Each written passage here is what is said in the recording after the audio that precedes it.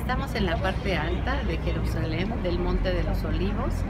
Aquí a mi espalda está el cementerio, la tumba de los judíos, encima tienen piedras, porque por aquí dicen que pasará el Mesías y cuando resuciten, esas piedras servirán para reconstruir la ciudad de Jerusalén.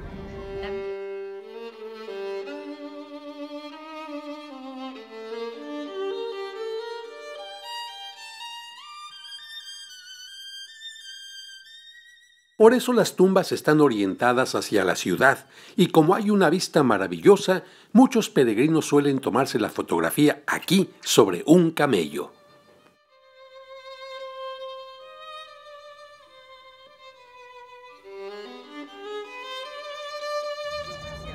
Continuamos con nuestro peregrinar. Aquí vamos a empezar a bajar por el Monte de los Olivos.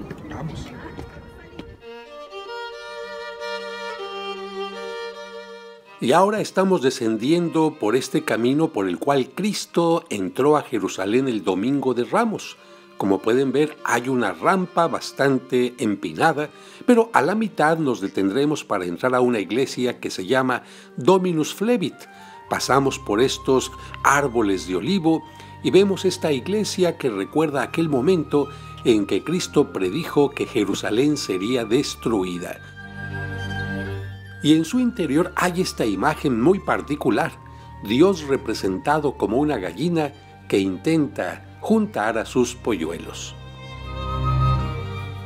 Y después de esto, continuamos nosotros nuestro caminar aquí, peregrinando en Jerusalén.